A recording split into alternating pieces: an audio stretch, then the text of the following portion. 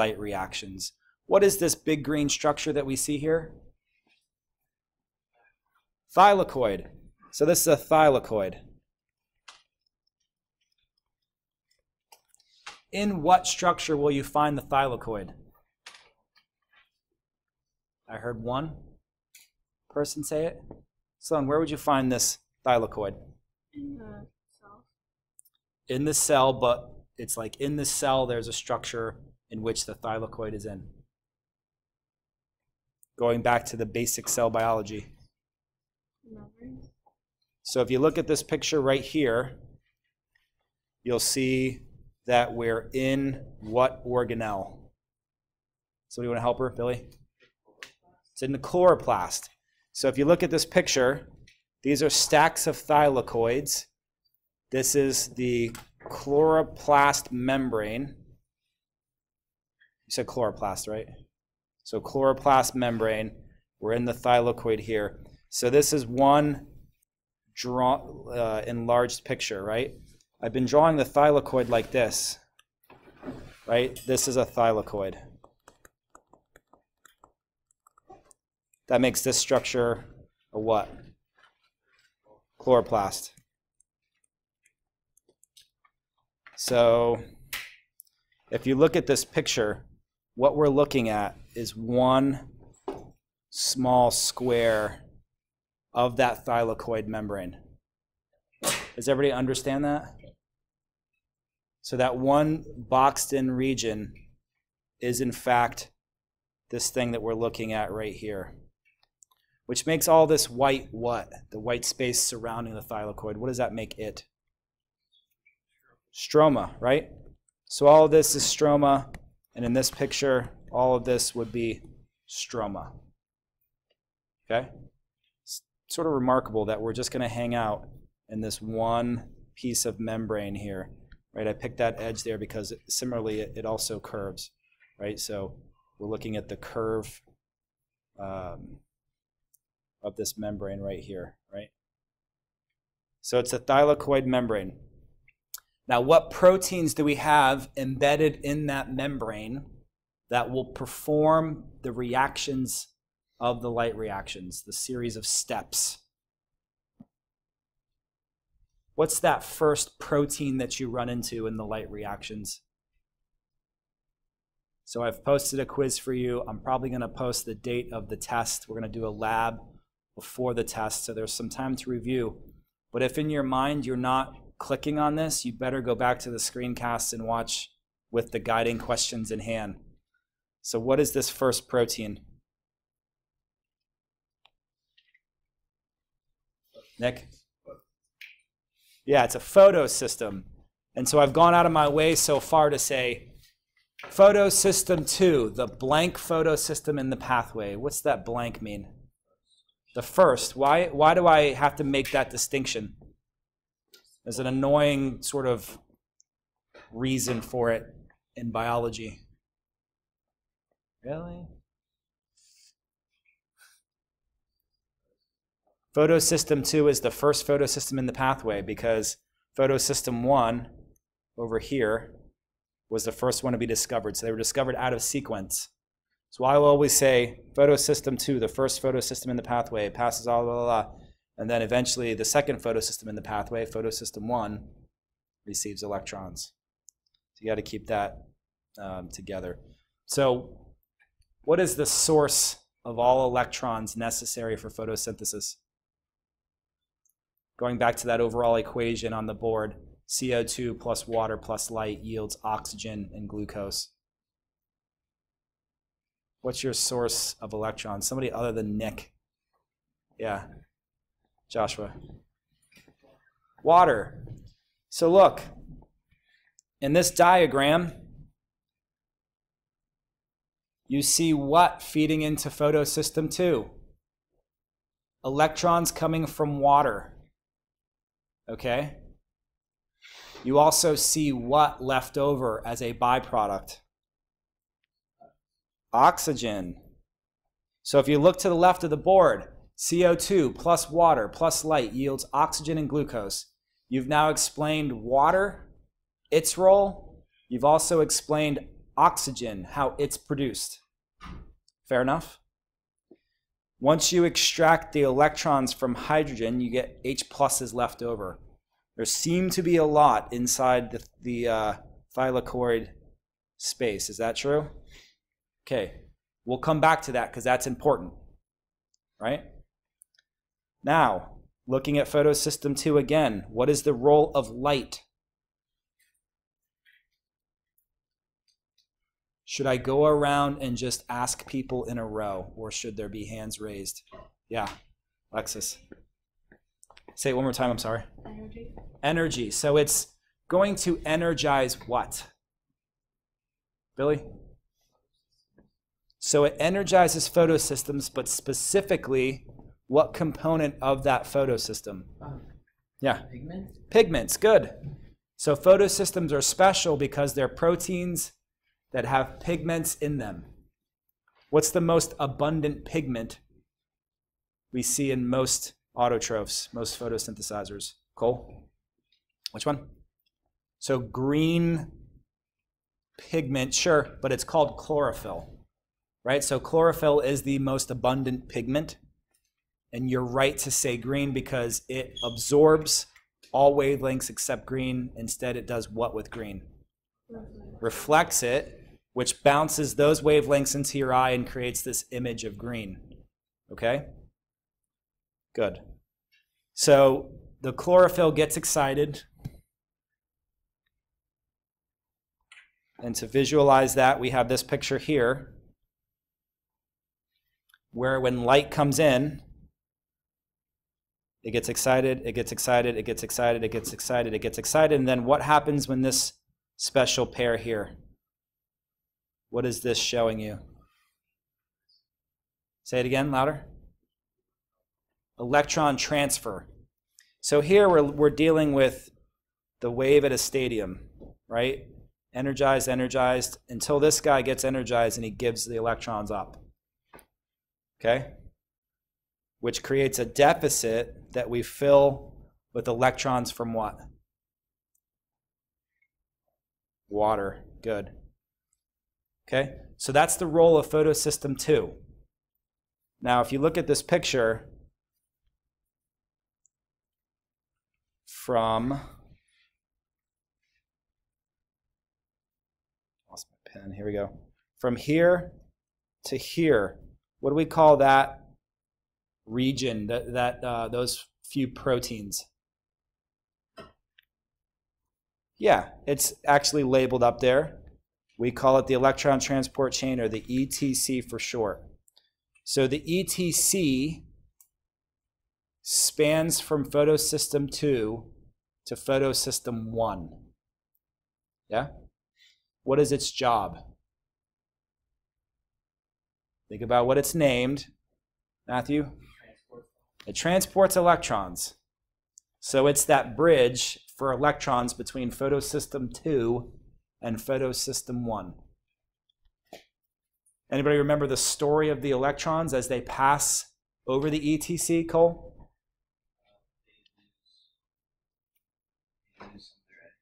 Good.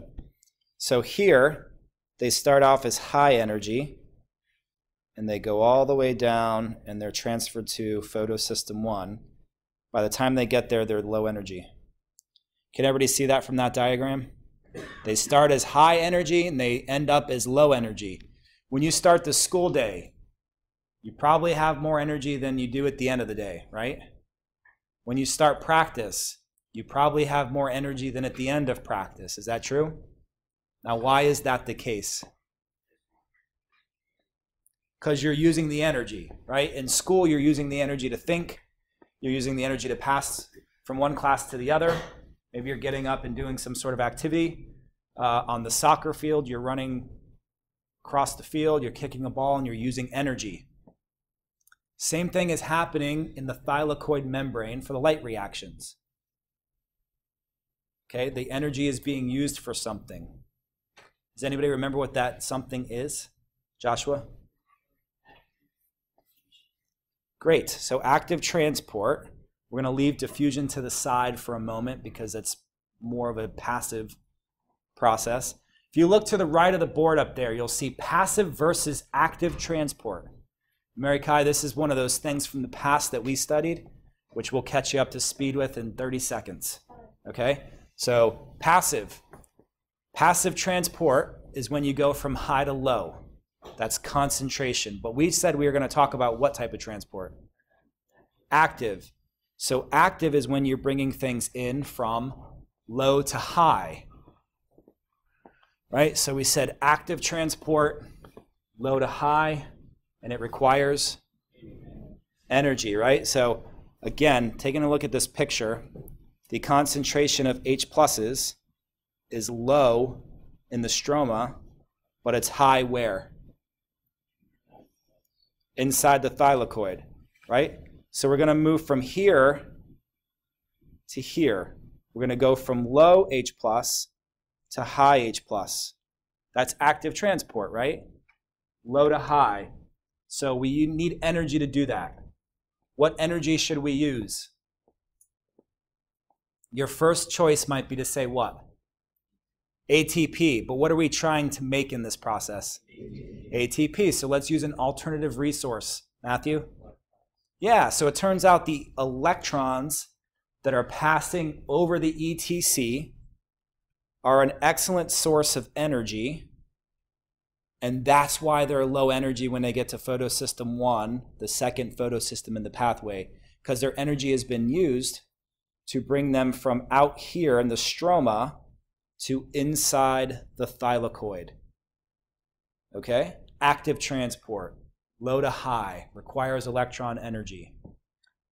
Any questions on that? It is 100% on both your quiz and your test. So if you want basically about 20 to 25 points on both of those assessments, you will realize that we're doing active transport right there. Fair enough? Okay. Now, we've established a high concentration inside. I also taught you about passive transport. How does passive transport work? High to low, right? So we just did active transport. going into the thylakoid. Now we're going to use passive going where? Out of the thylakoid, right? So we've established this high concentration gradient inside. Now we just need a passage for those H pluses to get out. Now, photosystem 2 is not a transport protein. The ETC does have transport proteins, but which way are they flowing? They're flowing into the thylakoid, so we can't go against that stream. Uh, photosystem 2, not a transport protein. So that leaves us with who? ATP synthase.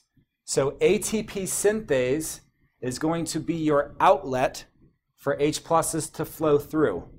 So it's clearly a transport protein, and it's also an enzyme, right? Enzymes end in ASE, so synthase is synthesizing what? And you can see the, the reaction right here. These are your reactants. These are your reactants right here. And this is your product. Right? Reactants. Shrink that down so I can write on it. Reactants leading to product. So the energy of H plus is flowing through, flowing through, flowing through allows ADP to have another phosphate put on to make ATP. Okay? So you have to remember your concentration gradients to get that portion of the light reactions correct. Okay?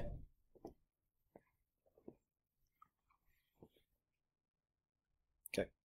Uh, so remind me where we left off with our electrons prior to talking about ATP production.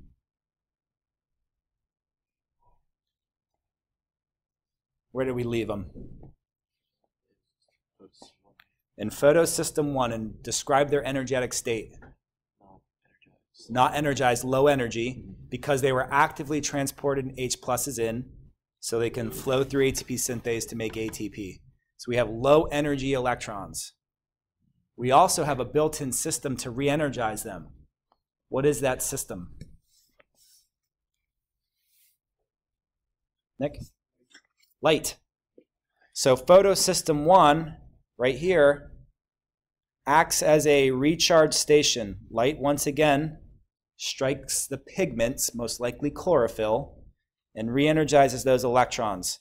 So that if you follow the pathway here, as soon as we load them onto NADP, they're high energy. And as soon as NADP gets electrons, what does its name change to? NADPH. Okay? This is very high energy. This is very high energy. We're going to use both of these for what purpose? Yep, so we're going to send both of these to the Calvin cycle in the stroma, right? So all this space out here is for the Calvin cycle. There's a lot of moving parts there. But if you stop and think about how things are interacting to accomplish two goals, you should be able to get it. What are the two high energy products we must make in the light reactions? What do you think, Carissa? Good. Good. If we go back here, you should hopefully recall that the two high energy products we need to make from the light reactions are ATP and NADPH.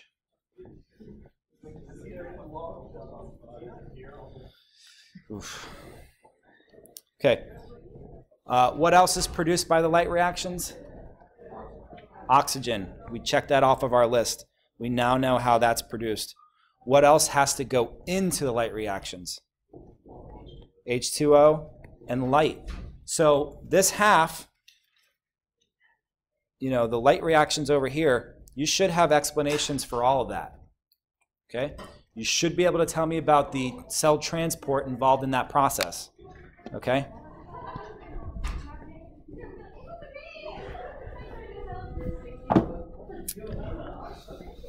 Okay? Um, the rest of today's class is for the following explanations. What are we doing with that carbon dioxide? What is its role in the Calvin cycle? And how specifically does the Calvin cycle make this sugar? Where is all this occurring? In the stroma outside the thylakoids. Based on this figure, you should be able to see, and definitely by the end of class today, you should be able to see that the Calvin cycle is using high energy ATP and high energy NADPH and spitting it out as low energy for it to be recharged in the light reactions. Okay? But it's really all about what? What are we trying to make? Sugar. Right? So we should be able to make this sugar right here. Okay? And that's the second part, that's the Calvin cycle. I know it seems like I harass you for participation, but even getting these things wrong at this point in time is being better. It's better than being silent. Practicing it while you're not taking a test is like the essence of education, right? If you're afraid to get them wrong, you're going to get them wrong, right? If you're not if you're not going to practice these things with me, chances are that test is not going to work out the way that you want. Okay? So you will have to be able to describe this situation. Okay? So I will give you a break to clear your head, and we'll pick it up with the Calvin cycle. We have two important high energy molecules coming in from the light reactions that are going to play a role in the Calvin cycle. Somebody remind me what those are.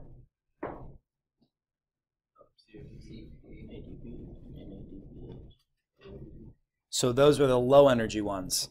So here's the high energy, NADPH, and high energy ATP. Okay? So we've charged them up. We've sent them to the Calvin cycle to do something. Their job's going to be defined in a moment. It's very basic for you guys. Now, it's called the Calvin cycle. So Cal- Calvin, uh, his first name was uh, Melvin. This is going to increase in size for me. Here we go.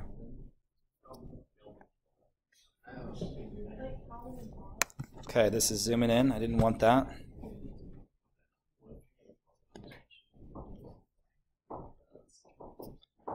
Here, hang on a second. The uh,